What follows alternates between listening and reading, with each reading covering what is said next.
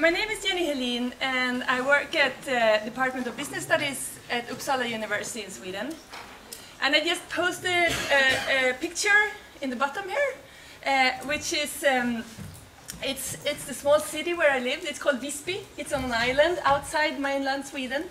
And the university is, can I use this? The university is here. So my office is actually facing the harbor. It's very beautiful. uh, but it's also very different from this environment, um, which, is, which is also very, very beautiful. Uh, I would like to talk today about uh, dialogue, dialogic processes, and what we call arresting moments. As this is some work we do, uh, Marie uh, and I at the moment, um, and we think it could be useful to talk about arresting moments, what it is, and, and why it could be useful, um, and, and how dialogue plays a role in, in this. And what I will also do, uh, spend some time on, is to try to understand these moments and, and talk about them with the help of a philosopher, let me see, push next, um, called Mikhail Bakhtin.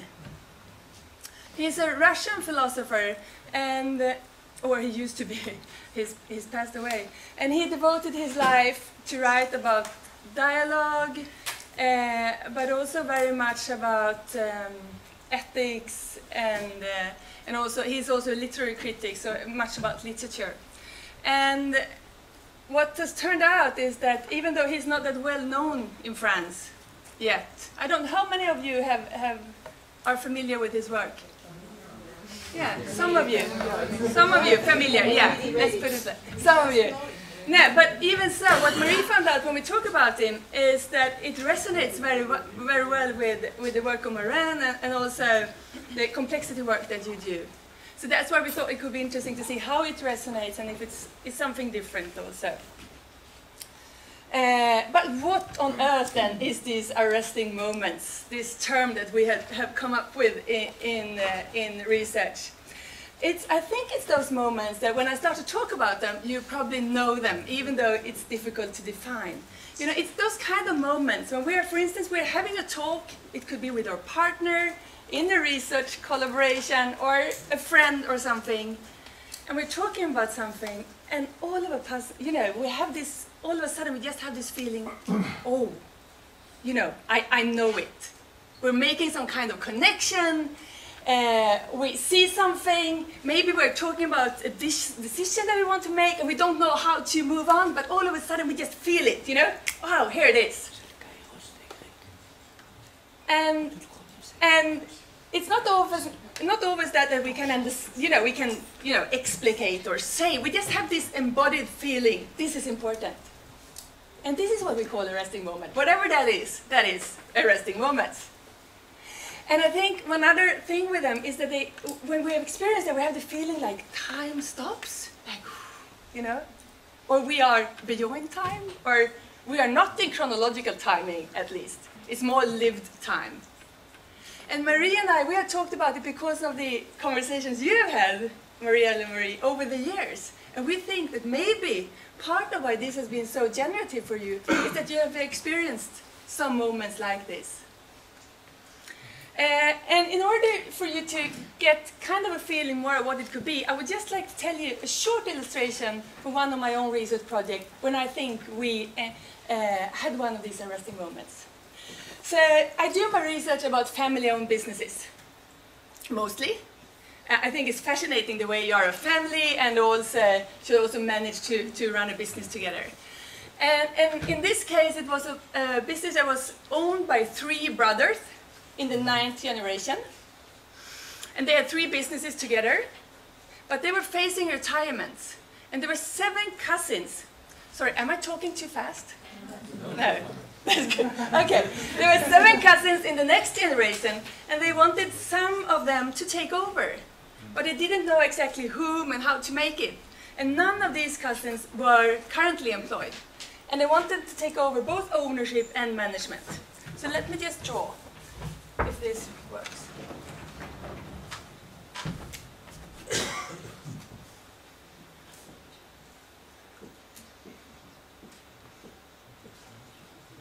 So here are the three current owners. Oh, I have to speak in the microphone.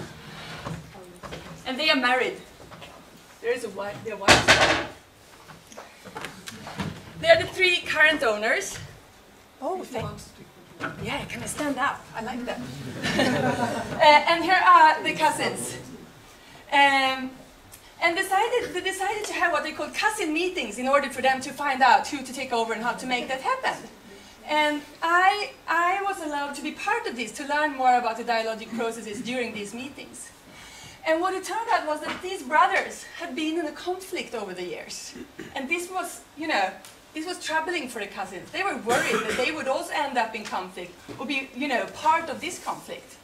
So for one meeting, they decided to meet the uncle then, to invite him to meet with them and talk about the conflict from his perspective.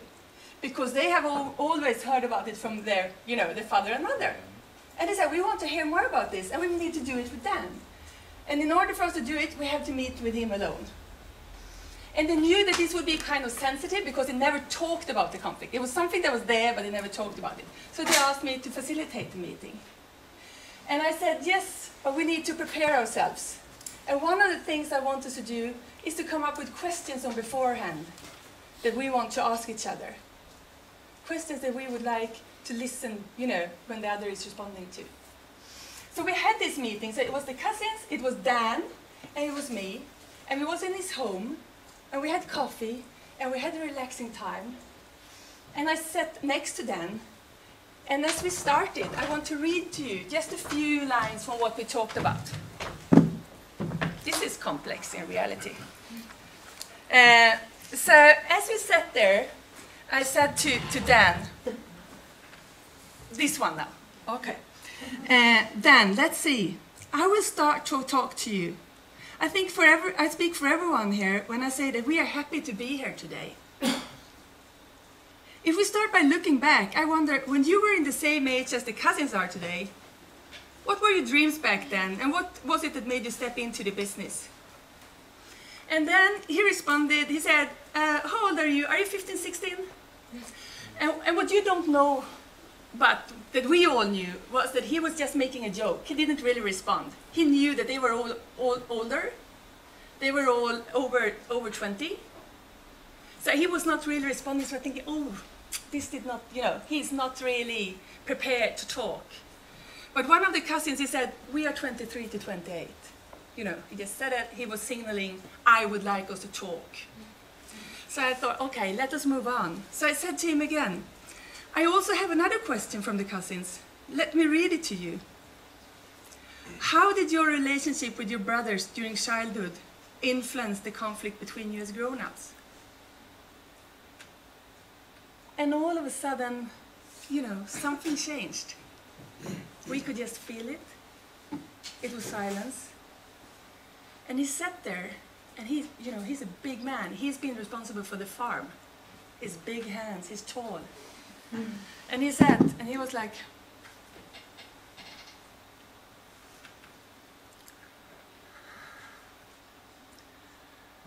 and he was like, it was like he had to take energy from his whole body, and like he, he was searching for words, and he was like looking down, and eventually he said very silently and, and quietly, he said, our relationship when we grow up, we did not have any relationship. Mm. And to us it was like, we knew there were some, you know, tensions, but non-relationship, I couldn't understand. I think none of us could. And actually, I think he was surprised himself what he said in that moment. And it was silence again because I didn't really know how, how to go on.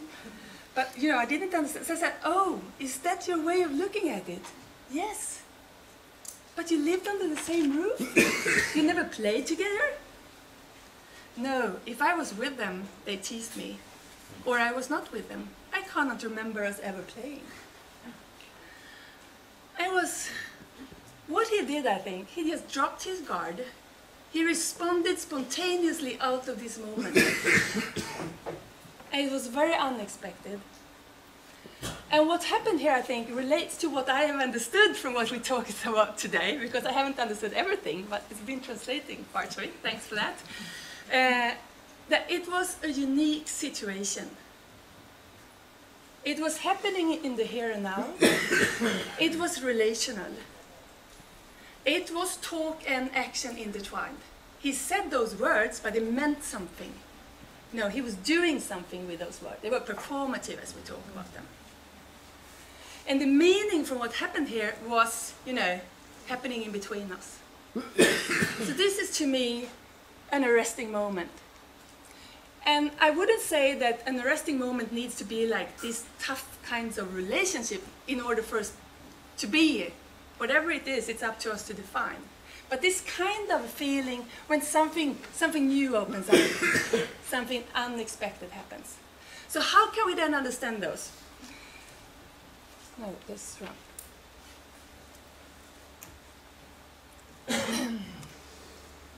Let me go back to Bakhtin.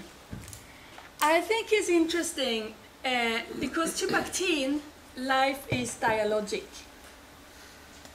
You know, one everyday sense of talking about dialogue is to say if you, the two of you, you and me, we would have a chat during the break. We could say we were having a dialogue. But that is not really what Bakhtin says. He, he says it's more like we are dialogic by nature. The thing is that we, you know, tend to forget, tend to rationalize, tend to rush. So maybe we forget. But we are always in dialogue. So dialogic is existential. It's a way of being. And that's what we do. So it's not like we enter dialogue or step out of dialogue. it's a way of being. Of course, we can be more or less, we can be more monologic, we cannot listen, you know, we can close ourselves. But in general, we are, as human beings, dialogic. Uh, and so how then is this dialogic come up, how does it come about? what is this that we are? And, and what he talks about, which I think very much resonates with, with the, the, the work that I've heard Marine uh, have talked about with Morin, is that he sees it as forces. Five more minutes, yeah. He sees it as forces that are going in different directions all the time. They are closing forces and opening forces, and they are in continuous movement. And they for, these forces, they will never stop, like end. They are continuous, like the sea, you know, ebb and flow in the sea. And these forces can, for instance, be the words that we are utter to each other, or it can be your bodily movements, it can be all kinds of forces. And another notion that's important in his work is heteroglossia. And as you can understand from this term, heteroglossia has to do with difference.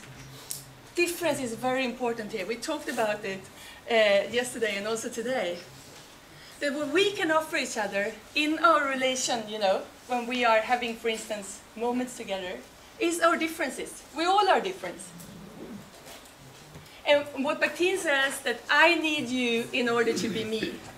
If we take this very setting, for instance, you can see me, I can see you, but I can't see myself. So in order for me to be me, I need you. I need you when you are nodding like you did just now. I mean, this kind of so social interplay. So we are never just an individual. Like we talked about this morning about the, the, the problem with entrepreneurship research when you talk about like the hero entrepreneur. It's always relational. It's happening in this kind of interplay.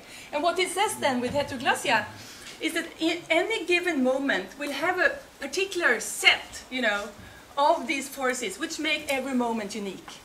And it's time for us to stop, you know, being aware of this, that we are, the situations are unique. And even if we would have, for instance, this very meeting tomorrow again, exact the same speakers, the same words, it would be something different. So no, you know, moments are exactly the same. He also talks about it as uh, dialogue as unfinalizable. So these tensions and these forces are in continuous interplay and they will continue to be like that. So we can't just say, oh, the dialogue is over, or this is the meaning that we have. Because we will, as these forces continue to play out, we will develop new meanings. The dialogue will go on. So let me just close uh, by saying some, what I think are implications based on recognizing living moments and this way of looking about dialogue. And I have three points there. I think they actually they are valid for both collaborative research and what we do in, in, when we do management or when we do strategizing. Uh, and what I say first is I think we have to, you know, we are oftentimes concerned with planning, both in research, what kind of research strategy do you have, or, and also in management, of course. Uh, but these kind of moments cannot be planned. I can't say to Marie, let us have an arresting moment tomorrow morning. Wouldn't that be nice before I fly home? No, we can't. But we can prepare ourselves for it. We can try to be open and be open for this otherness or the difference from the others. Uh, we can prepare so when we feel that there is something coming that's unique, that we are open to receive. I also think there needs to be some kind of change from talking to listening. I know we also talked about that. I mean, we want people to be good listeners, we say that. It's a good skill. But at the same time, what's valid is often, you know, if there's someone that's a good talker or, or you feel that you have the pressure to deliver as a, as a um, researcher and as a manager, you often have, you know, you have the feeling, I have to say something clever. That's the way you do something proper. But is it really? I think what happened in this moment was that we listened to them. And that was what the, you know, what made it so important. And also that he listened actually to himself. And that's also part of it. To listen to different voices, including ourselves. Not forget that. And for that we need time to listen. And finally, finally, just also, to, I think that we have so much focus on, on shared, you know, both in research and we would like to come up with common themes, but also in organizations we want to, people to have a shared vision, don't we? Or shared strategy, shared goals. But how on earth can we actually share the goals if we are always different? If our meaning making is unfinalizable? What would it do? Eventually we could, but then we would have no difference left. It would be very empty, you could say what's important is to share the process, I think, and be more aware of how can we prepare ourselves to be here and now and to share this work that we do and to make it in such a way that it feels enriching for all of us that are part of it. Thank you. Thank you, Jenny.